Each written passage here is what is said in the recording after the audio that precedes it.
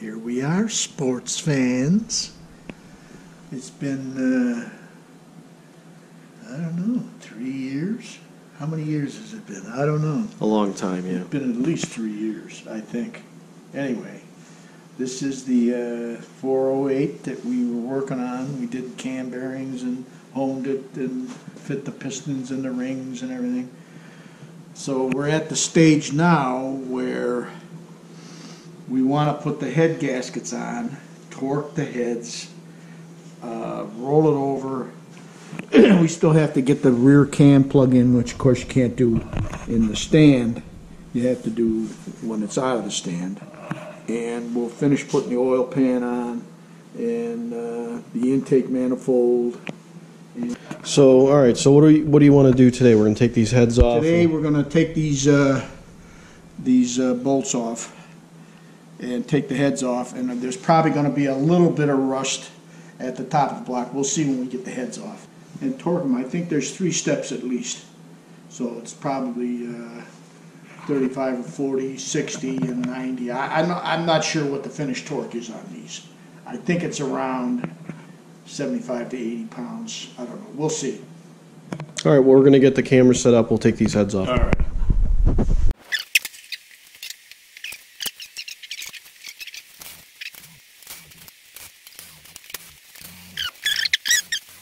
Uh, Now, cylinder heads, you torque from the center out. I don't care whose motor it is.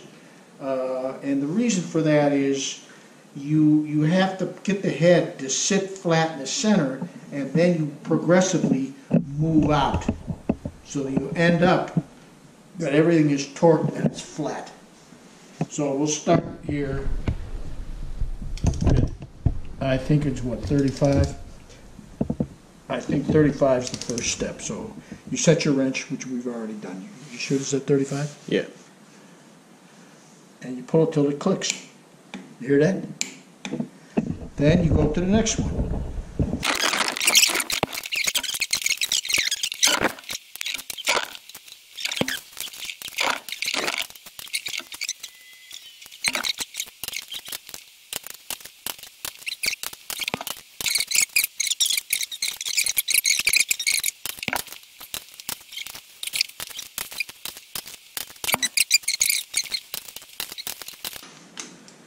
Last one. There we go. So that's the left cylinder head, we're, we're ready to go. Now, we'll repeat this process on the right head.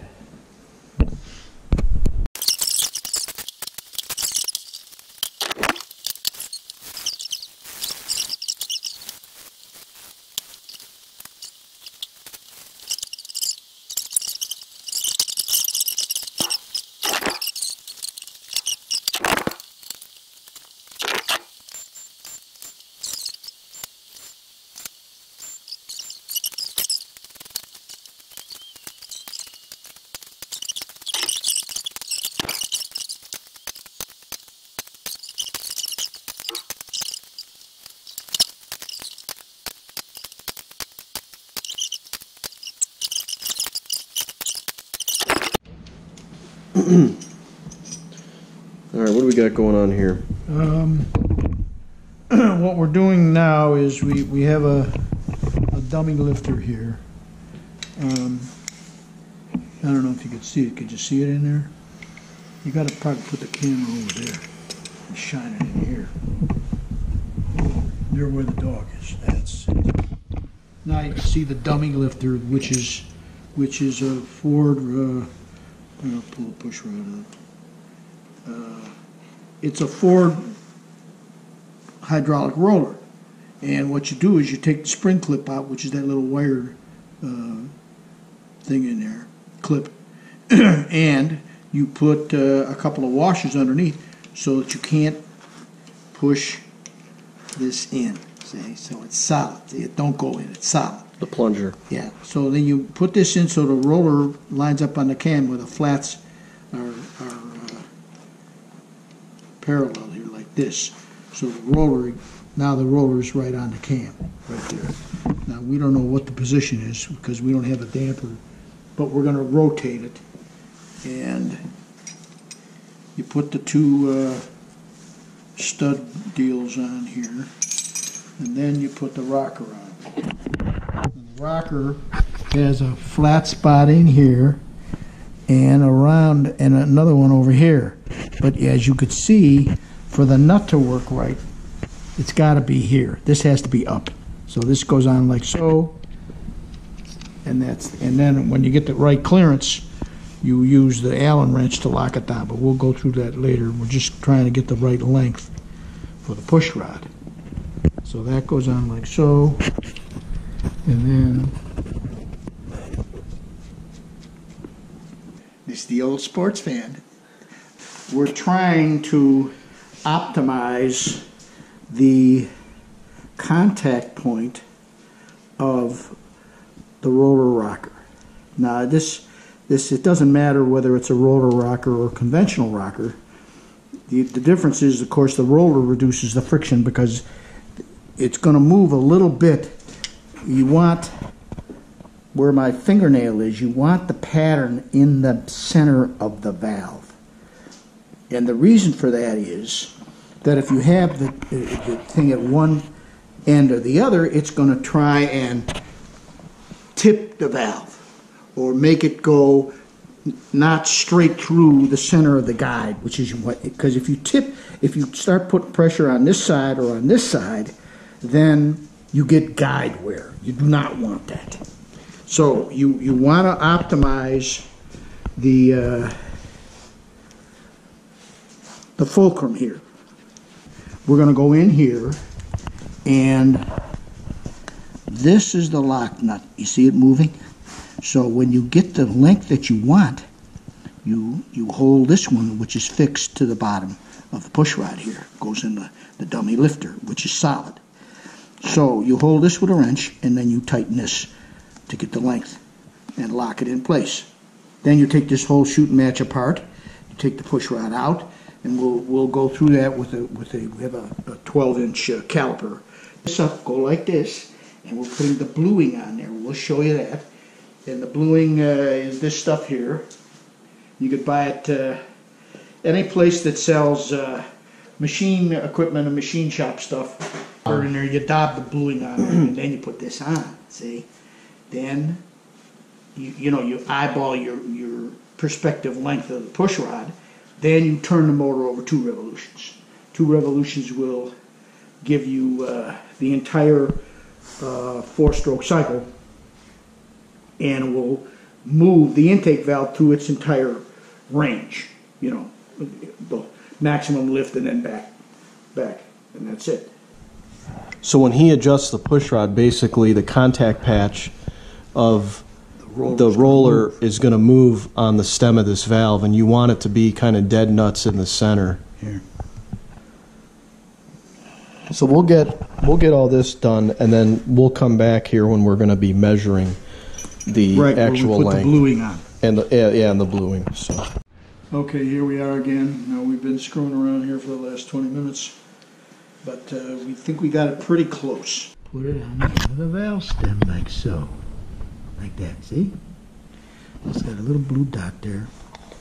Okay, put this back on, like so. And you seat the push rod and you seat that down there. Okay. Then you put your little nut on.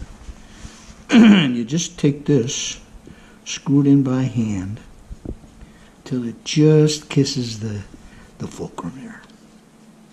Now, of course, when you get the right length push rod, then you follow the manufacturer's instructions on a hydraulic lifter.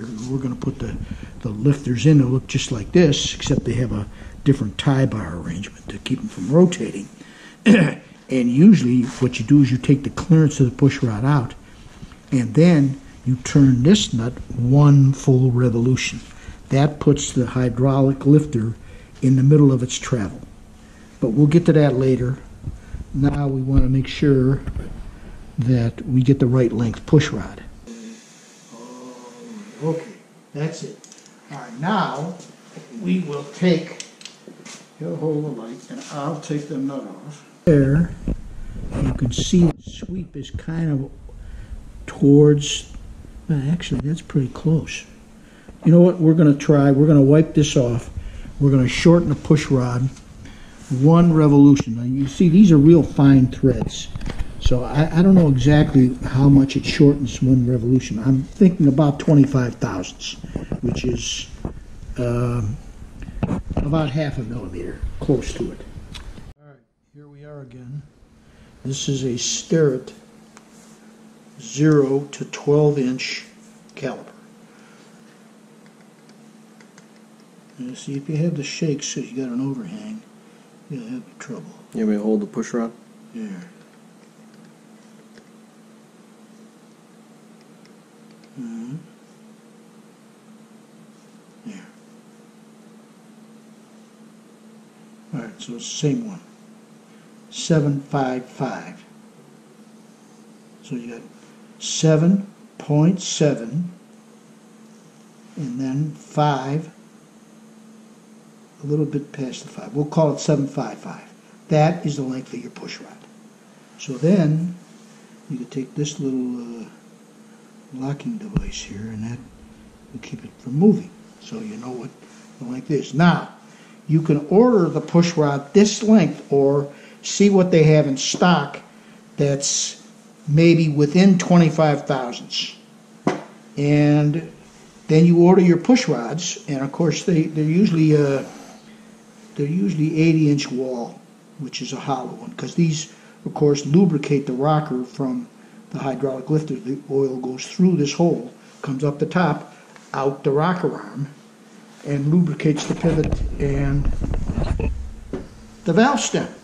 And that's the deal.